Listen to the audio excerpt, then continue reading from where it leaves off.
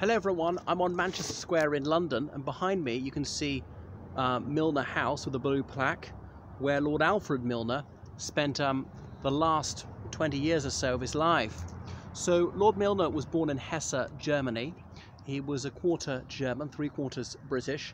His father was a physician who'd later become a lecturer in English at the University of Tübingen, which um, was and is one of Germany's finest universities. So uh, Milner was, was bilingual and grew up in Germany and later attended the University of Tübingen himself, came to the United Kingdom and attended King's College London. Um, perhaps surprising from someone who, who such a distinguished background, he didn't go straight to one of the two great English universities, but he then did. He went up to Balliol College, Oxford. Now, Balliol had really been put on the map by Benjamin Jowett. The head of that college is called Master, okay, of the, of the 39 colleges of Oxford University. The head of house as in the head of the college, has a different title at the different um, colleges. Like there's provost of this one, I can't remember, president of St John's, um, master of, of, University College, warden of Merton, uh, dean of, of, of, Christ Church, and so on but the head of house at, at, Balliol is the master. So Benjamin Jowett was the one who really um, put Balliol on the map. What, what, was the what's the ditty about him? I hope I can recall it now. Uh, um, uh, I am Benjamin Jowett. I am the master of this college. There's nothing that uh, to know that I don't know it. What I don't know isn't knowledge.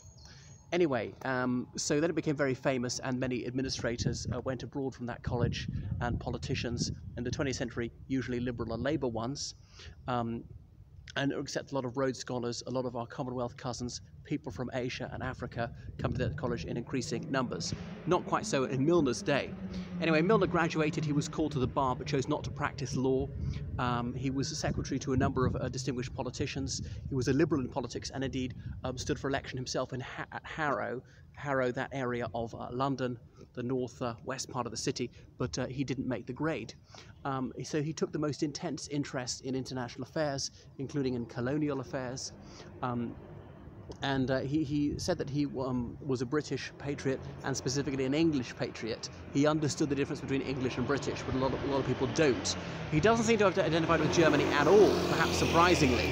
So he went to South Africa and he was determined to extend British control there. So the, um, the Afrikaners, as in people from the Netherlands, had landed in South Africa in uh, 1652 and they spoke Dutch but they gradually called themselves Afrikaners, as in white Africans speaking the Dutch language, and start to call their version of Dutch Afrikaans.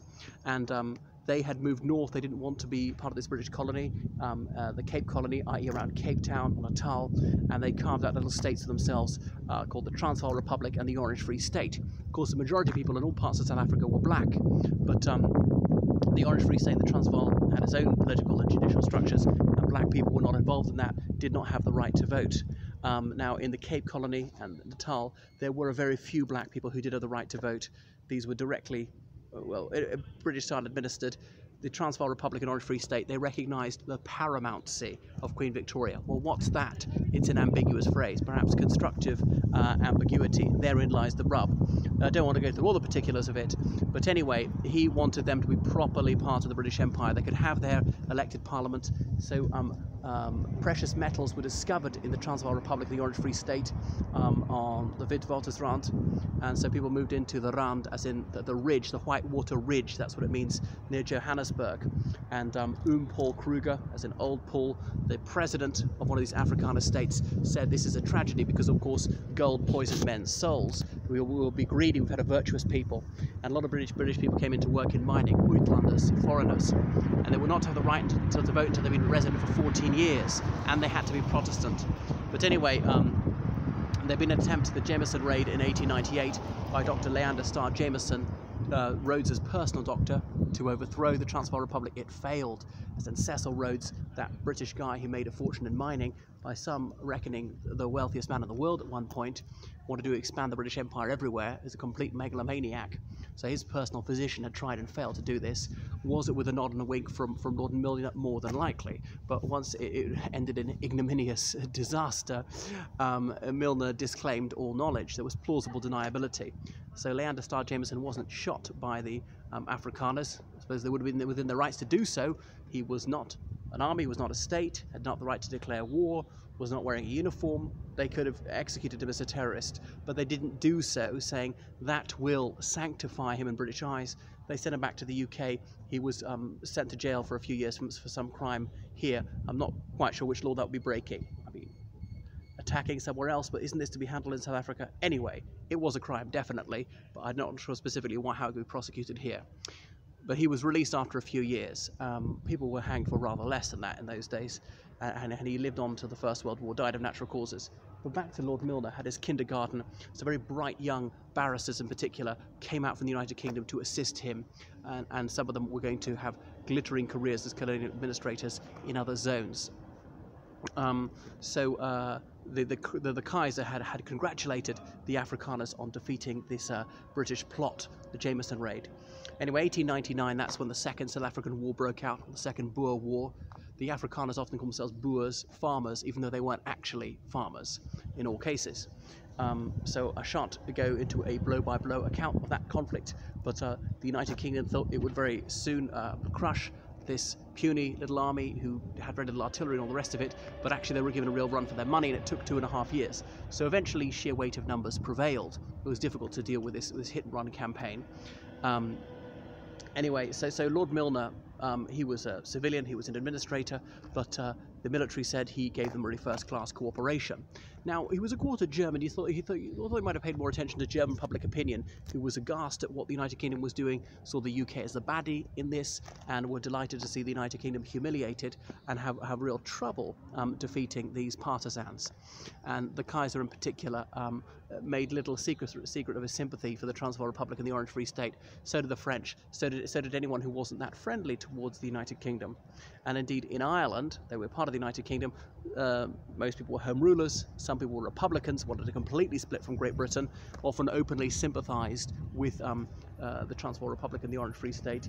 Uh, I remember reading when youth was, was youth, when youth was mine, or no, where the mountain men have sown by Micheál O'Sullivan, and saying um, people used to call their dog Kruger, a mispronunciation of Kruger after Oom-Paul Kruger. Kruger was actually born in born in South Africa to German parents, but became part of the Afrikaans community, as in Dutch speaking. So because uh, it's a Dutch, it's it's a German surname, Kruger, as in is it like innkeeper, but to do um, Kruger, as in the the, the um, big beer glasses? Like when you're when you're at um, when you're at Oktoberfest, they say Die Kruger, and when hold up your big um, frothy um, two pint glass. So finally, success had been achieved. He'd been administrator of the Transvaal Monetary State in 1901 when the, when the war was drained to the close. It was only in 1902, that May, when the Peace of Vereeniging was signed, as in unity is the name of the town. It's a very generous settlement, um, several million pounds compensation for the Afrikaners for their farms which had been burnt, and that was obviously an exchange of prisoners, and um, the Union of South Africa to be formed, and um, a great deal, deal, of autonomy there, native affairs as in the rights of the black people to be determined in South Africa. Obviously, well, the black people were not going to give given a voice in the rights that they were going to be granted, and the Afrikaners rather wanted to deprive them of rights. The British weren't much better in that regard, so racial discrimination became um, formalised and legalised. There was already a lot of racist uh, legislation on the statute book. Um, anyway, Milner, he um, left South Africa after a few years. He was ennobled, he was in the House of Lords, and he uh, continued to have a distinguished career here.